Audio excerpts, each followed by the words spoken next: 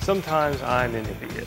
So when we did the accuracy test on the Tormach, we made this part and I measured it with a set of calipers and then a mic micrometer. And hey, there's nothing wrong with that, but there's a much better way to measure things more accurately and less expensive.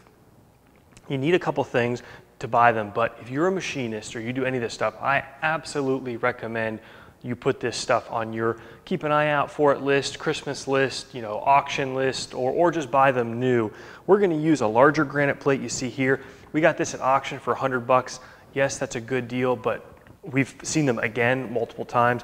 You can also buy these smaller ones um, online for not too much money and they'll do just fine. Links are below. You need what's called a, um, a height gauge right here or a surface gauge.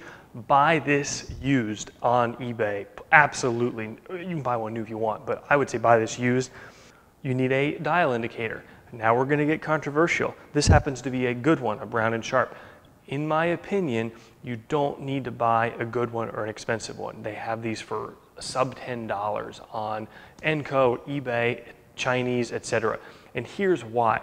What we're going to do today is we're not going to measure height, we're going to measure relative distance to the gauge blocks. That's the key. I don't care really what the height is. I care again, testing the two differences. The cheap dial indicators or test indicators will do just fine. Then of course you need the gauge blocks. We bought these new, these are Shars. They're fine. Look, are they gonna, they're, you know, this is all a question of what you wanna get out of it. So we think this is supposed to be an inch and a half. So we'll grab the one inch and we'll grab the half inch. Here's the cool thing about gauge blocks. You know they're accurate because you bought them hardened and ground and, and again, subject to the quality that you bought. I'm fine with these for what we do. But you also know that they're accurate and clean if they ring together. So if you see, you hold those together, look at that. Isn't that freaking awesome? It's not just the small ones either. If I take this four inch, I take this three inch, as long as the surfaces are clean, which is important because that means you're gonna get accurate height, if you do this, how cool is that? You can, it's, a, it's the coolest feeling. Um, we, we actually tried to make one in a video, this 107, and I was proud of how we did. It doesn't ring together. So that's on our list to redo and do it correctly. So we've got the one inch and a half inch, ring them together here, and let's see what we get. We're gonna lower the surface gauge down, and what I like about these is they've got this knob on the back, so you can see as we start to lower it down, we can just go ahead and get our test indicator set at zero. Now, you basically want the indicator tip to be as close to parallel to this top as possible. Here we're just comparing two things, so it actually isn't as important, but what will happen is you'll get, you'll get sign errors the more tipped it is relative to the distance it's moving. So keep it, see how it's basically almost flat in line. Now here's what, no, this is very sensitive stuff, by the way, and one of the things I'll mention is it's the quality of all of your tools, it's the humidity and temperature in the room, the cleanliness of your surface plate. All that stuff can compound and add up. But if you're attention, if you have attention to detail, you can actually do a pretty darn good job with, again, some pretty inexpensive tools measuring some pretty crazy distances.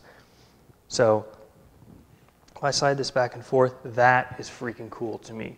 It doesn't move. Now the real question is if I take it off and come back on, will it repeat?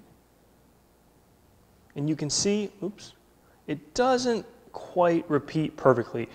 Each tick here is half a thou though, and we're talking about, I mean, less than a, far less than one fifth of that distance. So that's pretty, I mean, half a thou alone is about one eighth the thickness of a sheet of printer paper. So pretty close. So that's at we know that the height of this indicator right now is at 1.5. So we'll grab our part here, set it on the edge, and just nice and easy, you want to just slide it over, trying to be as gentle as you can. Now, I'm showing one, two, three, four ticks off. So in theory, that would be two thou. Each tick's half a thou. You can, oops, you can accept that as it is, or we can grab some more gauge blocks and see what we get. So as you see, we slide across here. We do get slight ripples or variations. That's because it has a slight textured finish to it. Now, when it comes to picking your gauge blocks, you can use this wizard you see here from Little Machine Shop. It'll help tell you the gauge blocks you need to stack up to your height. I'm going to grab a couple here. So we're going to use a 0.1003, a 0.148, you know, again, ring them together, quarter inch and one inch. That comes out to um, 17 thou under 1.5.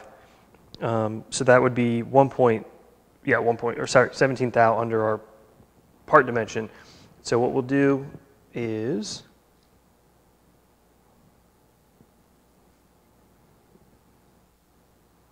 okay, you can see we've got that pretty darn good there. I'll check it once to make sure it repeats pretty decent. Okay and knock on wood,